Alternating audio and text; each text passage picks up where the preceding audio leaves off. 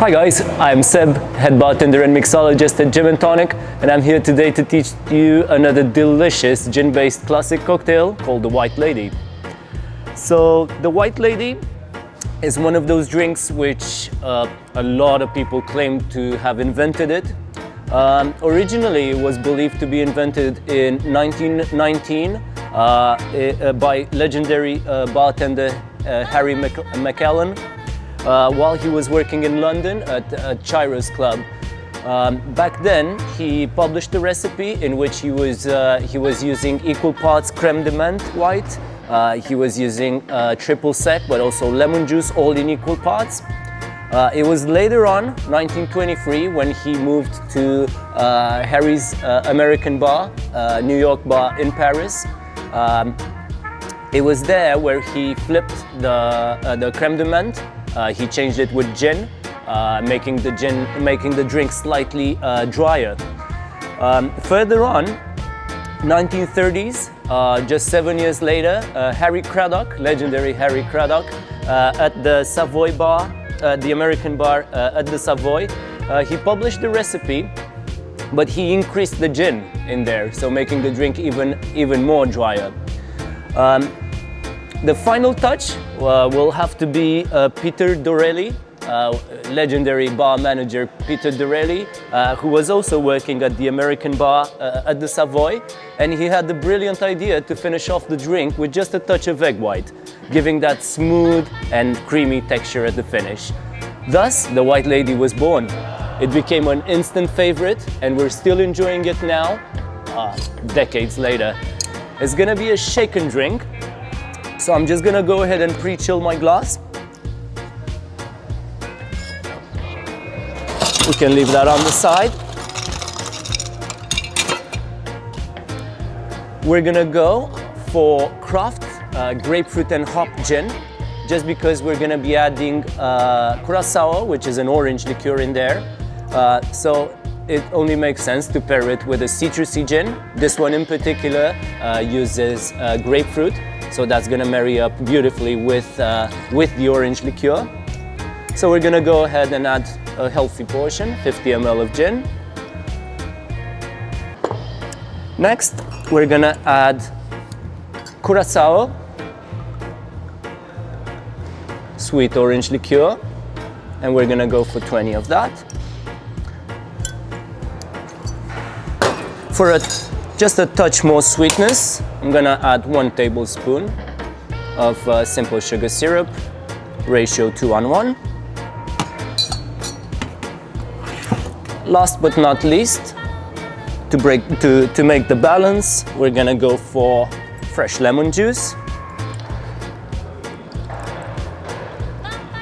And we're gonna go for 25 ml.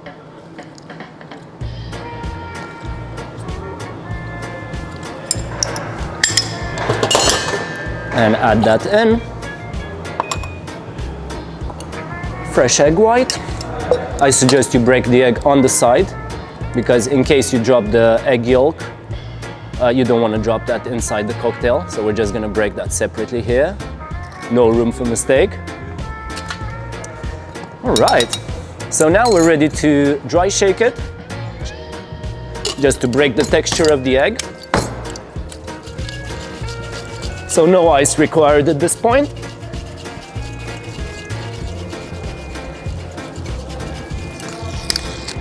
Usually I give it just a few throws. You don't need to do this. Um, I'm just showing off to be fair. No, I'm joking. So it's just to aerate the drink and to break the egg white's texture.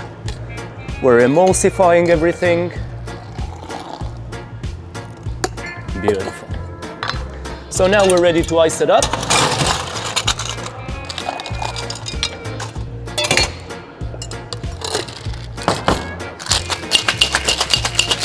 And give that a firm shake.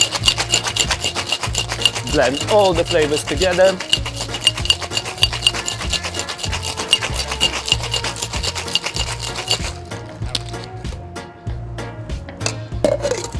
Let's give that a go.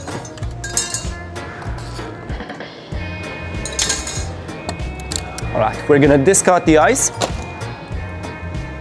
and we're gonna double strain everything into our pre-chilled coupette.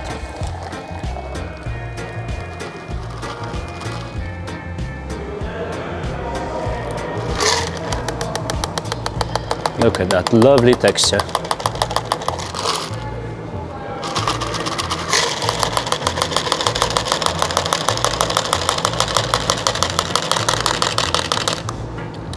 Beautiful. So now I'm just gonna allow it five seconds for the fluff to, to proper settle itself before I apply the garnish.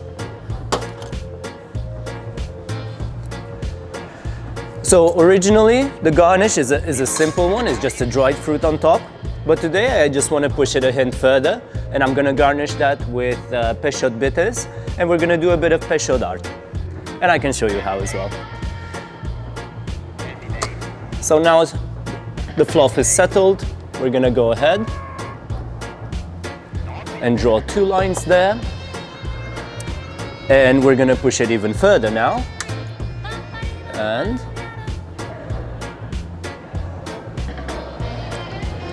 beautiful. So I'm treating it as the barista would treat a latte. That's how I'm treating this beautiful sour. So there we have it. Citrusy, creamy, fresh, but also beautiful. White lady, enjoy.